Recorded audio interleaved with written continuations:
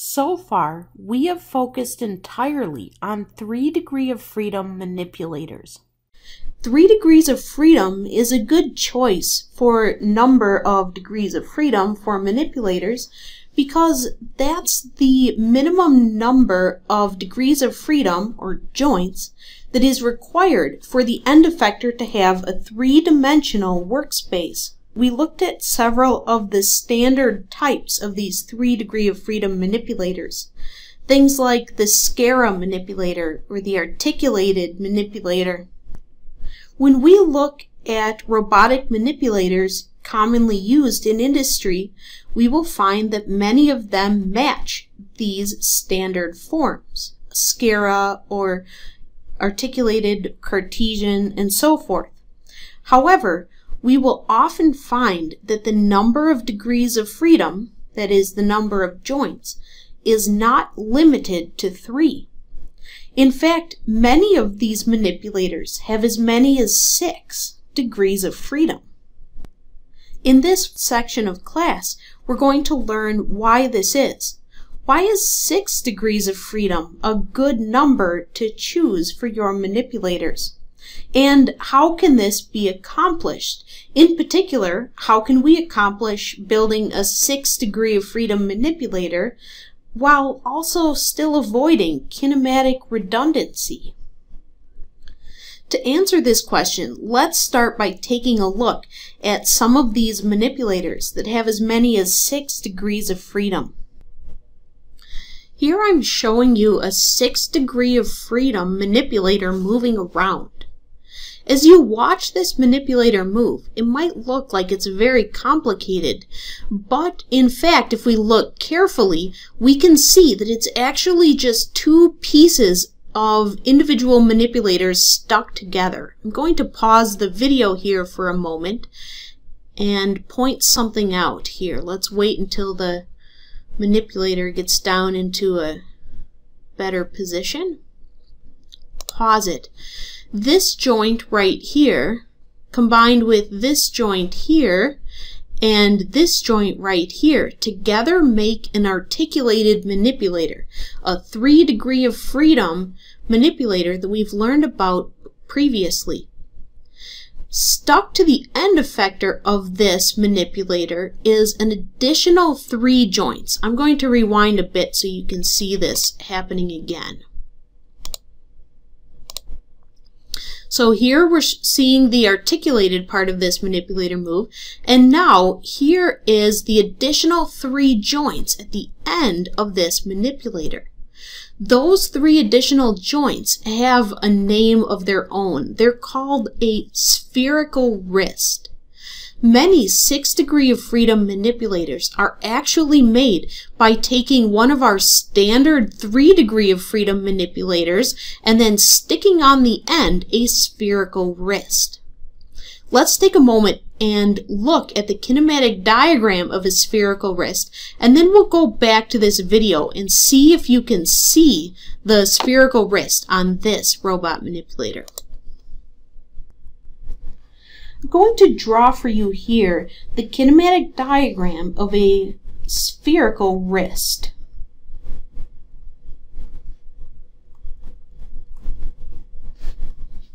It starts out with a revolute joint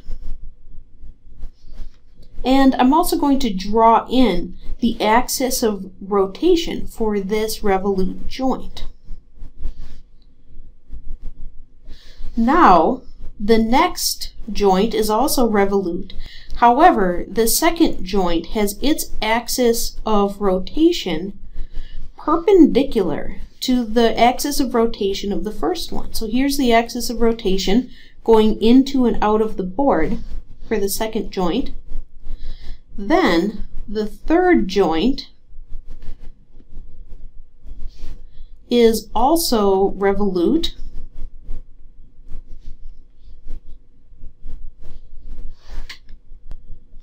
and its axis of rotation is perpendicular to the second joint's axis of rotation. The way I've drawn this kinematic diagram has the axis of rotation of the third joint being collinear with the axis of rotation of the first joint. But this will not always be true. And to show you how that is, I'm going to redraw this kinematic diagram with this second joint rotated 90 degrees down.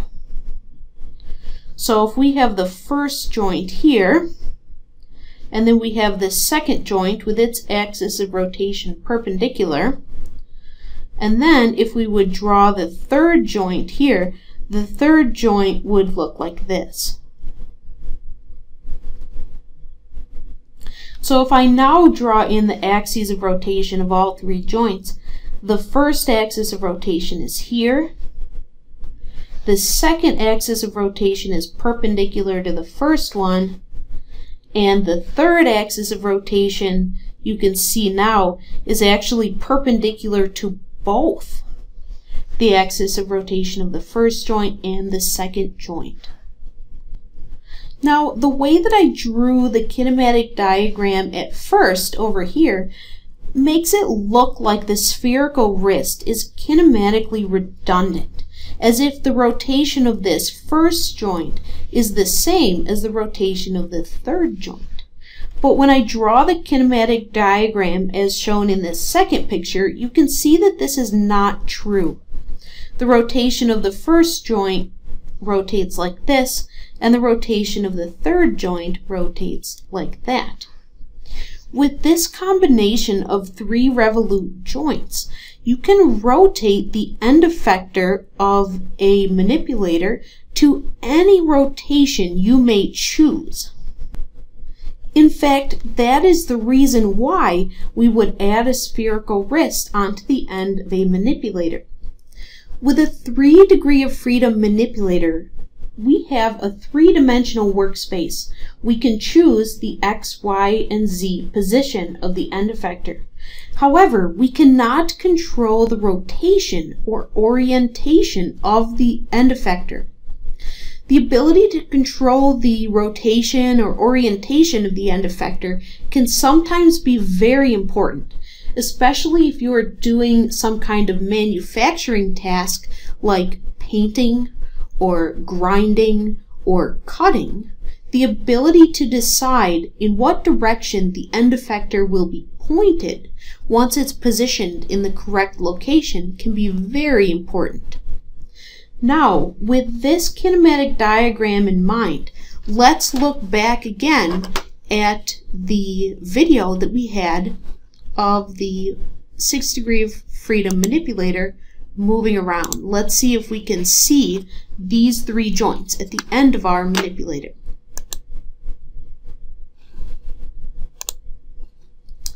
Here's the rotation of the first joint of the spherical wrist. Go back here. Here is the rotation of the second joint.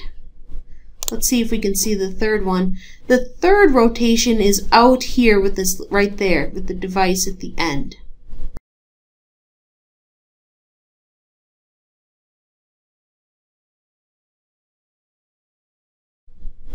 Now that we've seen a spherical wrist in action, let's take a look mathematically at the reasons why we would use a spherical wrist. I'm going to start by drawing my spherical wrist kinematic diagram again.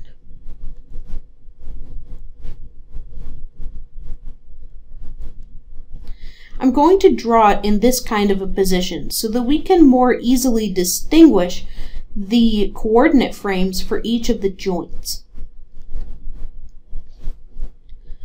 Now I'm going to draw coordinate frames on each of these joints.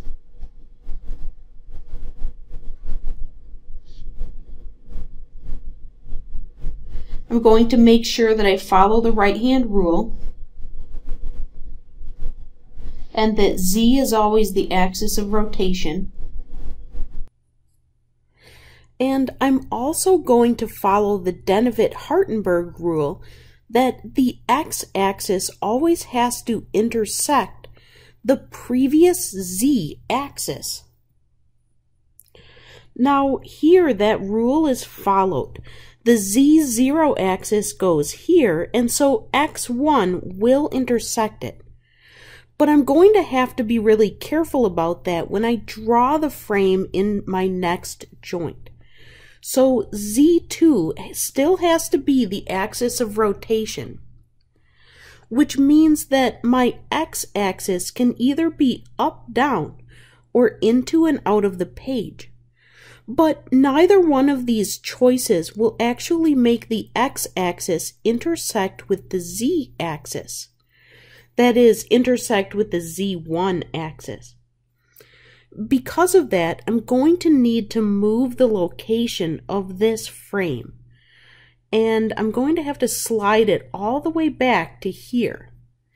Now, to avoid some confusion, I'm going to draw the frame in purple instead of in red so that you can see the difference between the one frame and the two frame.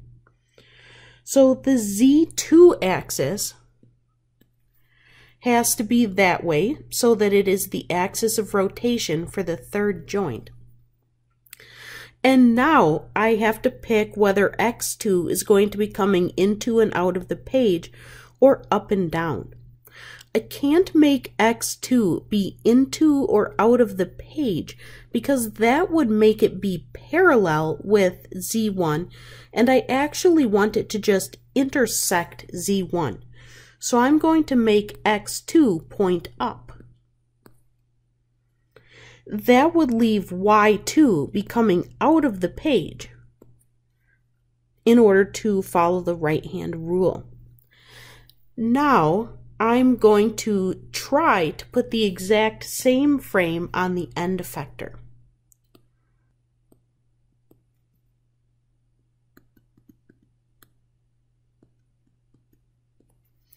I have to check and make sure that all of the rules are followed if I do this copying. And I see that actually all of the rules are followed. X3 will intersect with Z2 the right hand rule is followed and x3 is also perpendicular to both z3 and z2. So we're okay with the frame being as it is here. Now, usually when I'm drawing a kinematic diagram, the next thing I'm going to do is label the link lengths. In a spherical wrist, we're always trying to get the link lengths to be as close to zero as possible. So we do have a link length here that we might call A1, and here we have a link length A2, and here link length A3. But when we physically build this device, we're going to try to build it so that A1, A2, and A3 are as small as possible. I can also label the positive directions of rotation here now that I have the z-axes drawn in theta 1, theta 2, and theta 3.